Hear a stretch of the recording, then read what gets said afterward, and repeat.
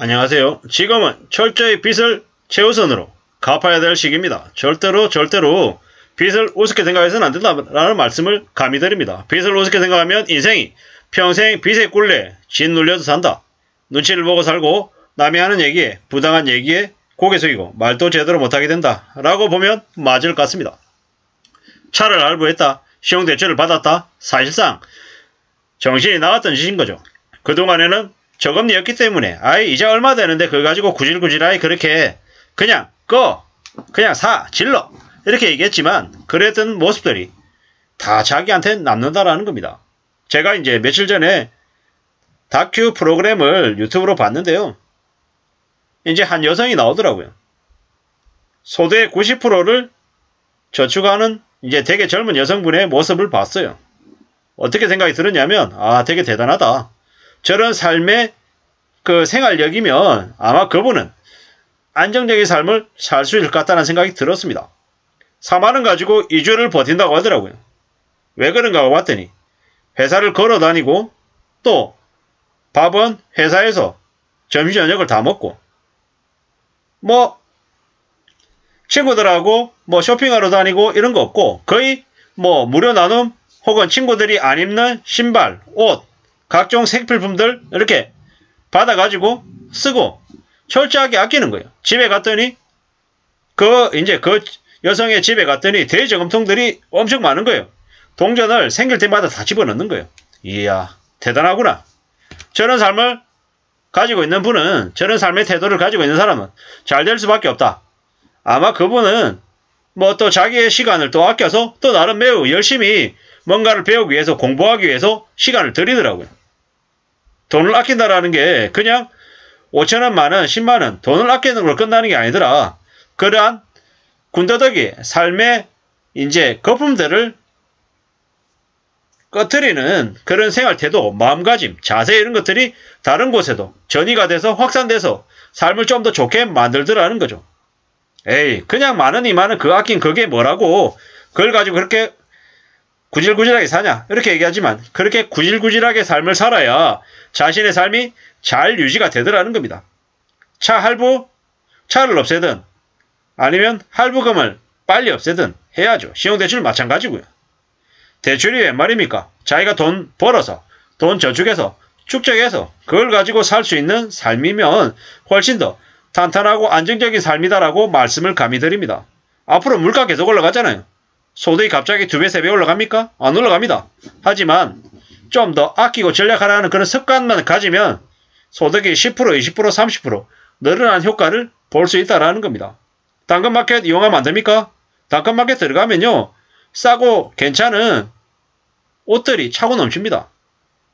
가구도 있고요.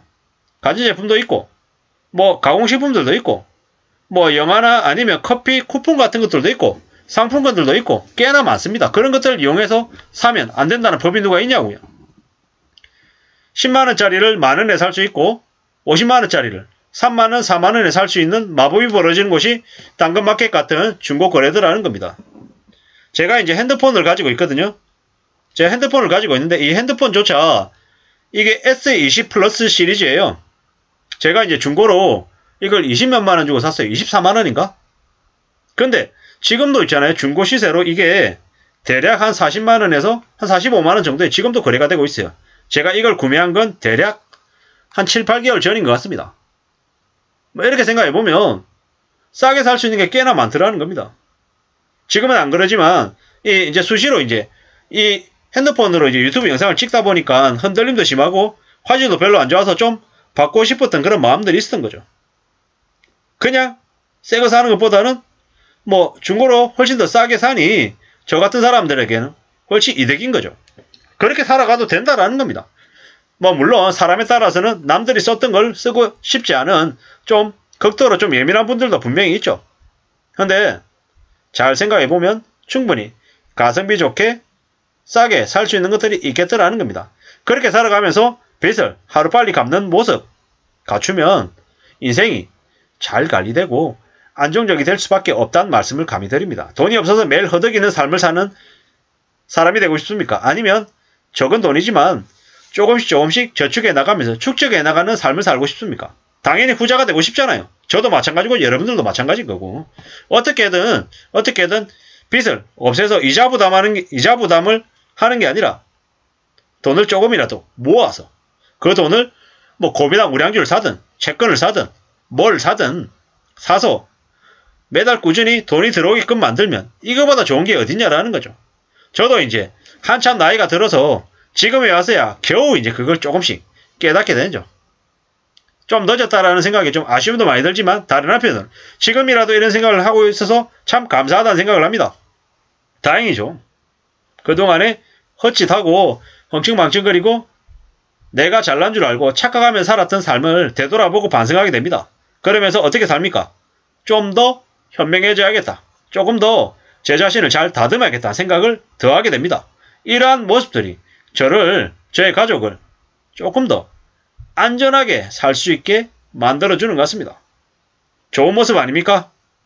뭐, 예, 예를 들어 유튜브도 이렇죠. 제가 유튜브 영상을 찍어서 얼마를 벌겠습니까? 한 달에 100을 벌겠습니까? 500만원을 벌겠습니까? 택도 없죠. 50만원요? 힘듭니다. 30만원요? 힘듭니다. 감히 말씀드리건데, 감히 말씀드리건데, 지금 이제 제 구독자, 그리고 조회수로 따져보면 대략, 대략 월 한 10만원에서 많이 벌어야 한 17, 8만원 이내입니다. 뭐 평균 따져서 월 한 15만원이라고 쳐보자고요. 1년 치면 180만원입니다. 적습니까? 많습니까? 많습니다. 물론 드린 시간에 비해서는 아웃풋이 적다라고 생각할 수 있지만 절대 적은 금액이 아니다라고 저는 감히 생각합니다. 왜? 이게 1년이 지나고 5년이 지나고 10년이 지나고 20년이 지나면 얼마가 되겠습니까? 저는 이런 생각은 가끔씩 합니다. 욕심입니다만은 유튜브 영상을 이렇게 찍어서 계속 앞으로 10년, 20년, 30년이 지나면 한 20년 지난 다음에 제가 월 얼마를 벌 수 있을까? 감히 말씀드리건데 유튜브를 해서 100에서 한 100원 50만 원은 벌 수 있지 않을까? 이런 생각을 가끔씩 합니다. 왜? 그 20년이라는 시간 동안 영상을 계속 발굴하고 찍고 고민하고 생각하고 하면 분명히 저의 재능이 쌓일 것이기 때문입니다. 그때가 되면 지금은 1년에 180만 원을 벌지만 월에 180만 원을 벌지도 모른다. 단 전제 조건은 뭐다? 20년 이상 오랫동안 꾸준히 하루도 빠지지 않고 이렇게 영상을 찍어서 올린다라는 전제하에 말입니다. 유튜브 영상을 찍어서 올리는 걸로 예시를 들었지만 제가 살아가면서 유튜브 영상뿐만 아니라 공부를 하고 뭐 책을 써내고 아니면 많은 강의를 나가고 여러 가지 활동들을 각각 이런 형태로 한다라고 하면 노년에 어떻게 살겠습니까? 안정적으로 살 수 있다라는 거죠. 저는 예시를 들어서 말씀드린 겁니다. 아무쪼록 비치지 말고 플러스 삶을 사는 저와 여러분들이 되기를 간절히 바랍니다. 그러기 위해서 첫 번째 조건이 뭐다? 비치지 않아야 된다. 빚을 가지고 있다라고 하면 그 빚을 하루빨리 갚아야 된다라는 말씀을 드리면서 마실까 합니다. 감사합니다.